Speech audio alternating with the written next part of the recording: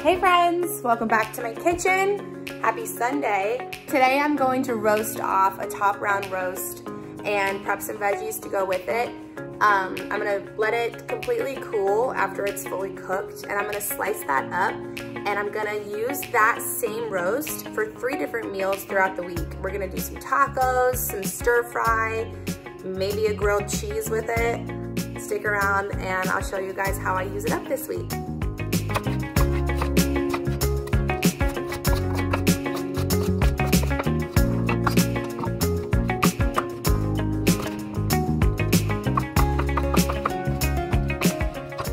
So now it's time to season the roast. I've got our handy dandy, my favorite, Santa Maria rub.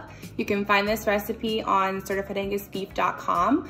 I'm going to heavily season my top round roast with this, season up my vegetables with some olive oil and some other seasoning, and I'll show you guys how we roast it off.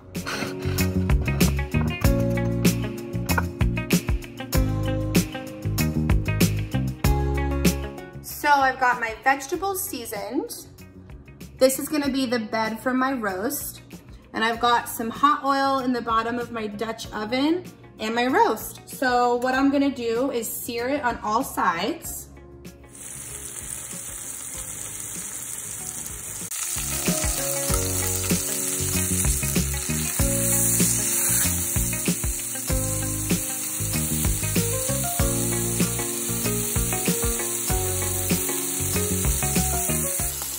The top round seared off. That's just gonna add another layer of flavor to the meals I'm gonna create with it later on.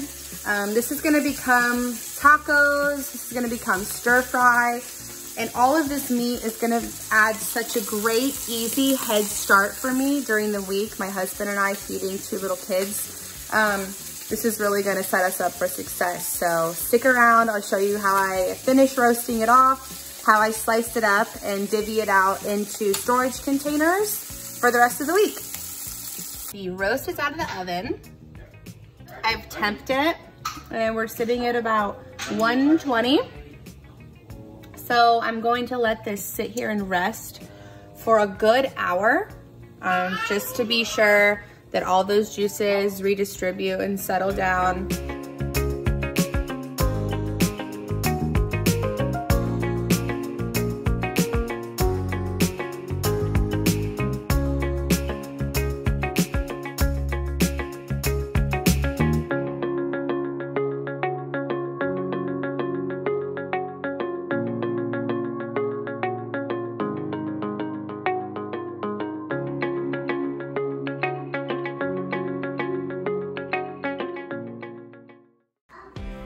Meal number one, tacos. You want some tacos for dinner? Yep. Yep. And some peppers. Yep. And, hummus. and hummus. Hummus.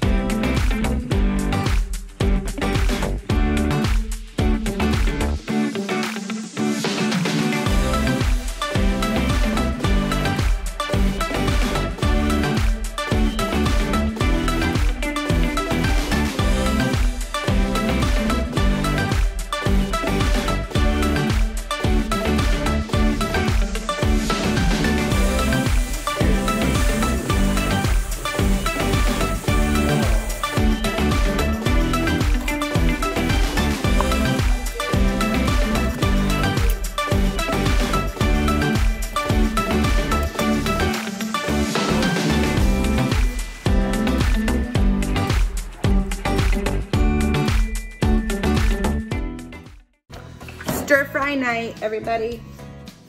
So I've got my beef, some shallot, some prepped vegetables I'm gonna use, and my pan heating up. Garlic and shallot in the pan.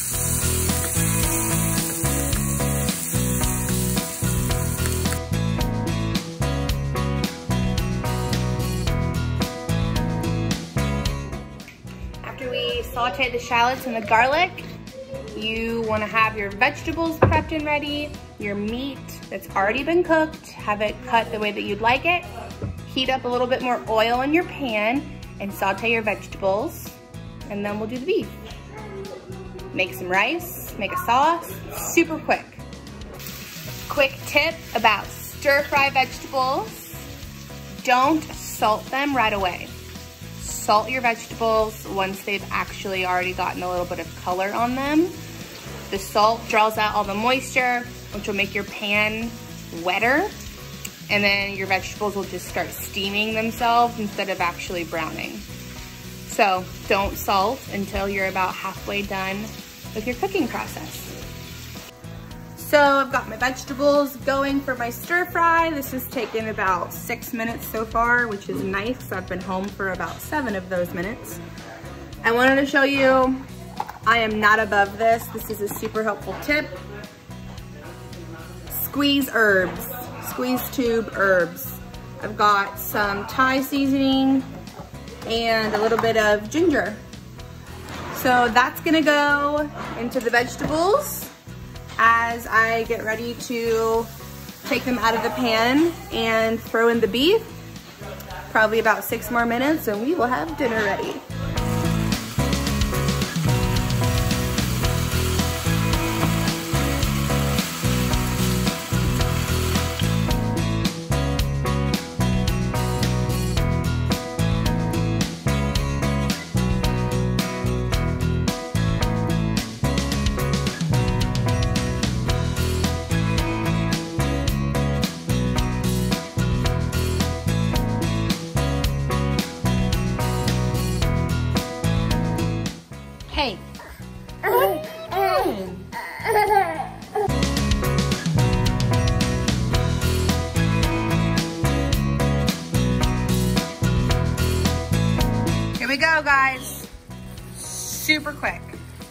That was like eight minutes.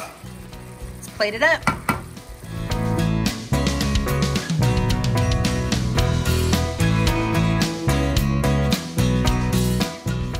Night number three, grilled cheese.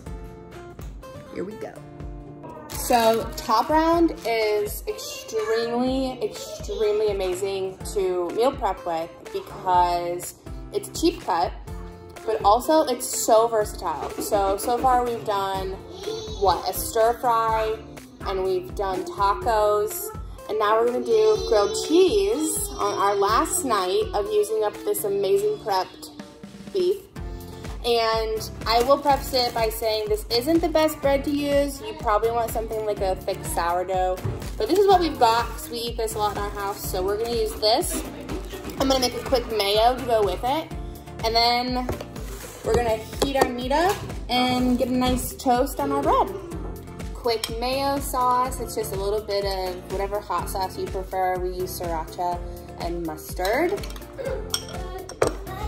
We're using baby Swiss and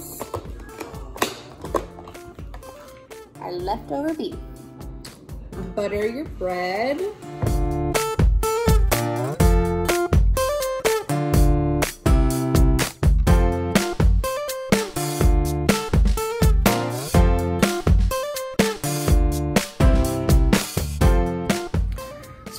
I've just thrown on basic 101 grilled cheese making. We're toasting some heavily toasted bread in an oiled skillet. I've got four pieces of baby Swiss on here. And then I will toast the other two slices separately and that piece will have the mayo on it and then we'll top it with the steak.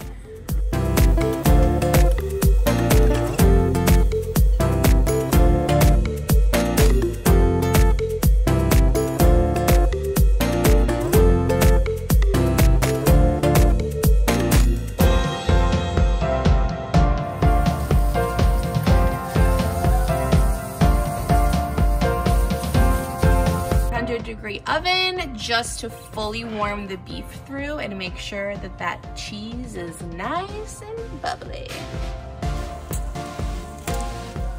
Oh,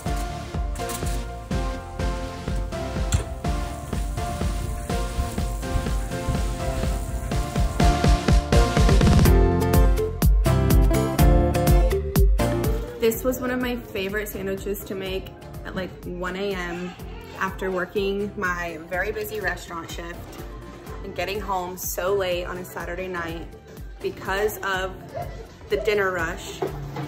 You come home and you make one of these. Let's cut into this, shall we? My family's getting very hungry. This probably took 10 minutes from start to finish, so doing good. Whoa.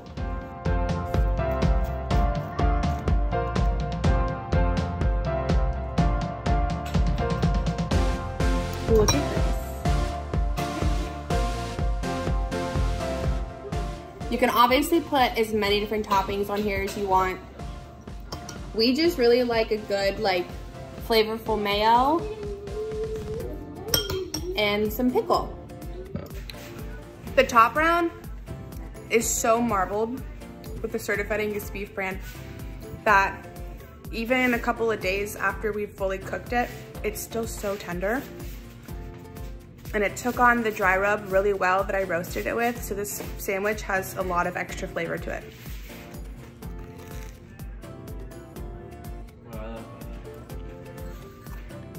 Happy Sunday meal prepping.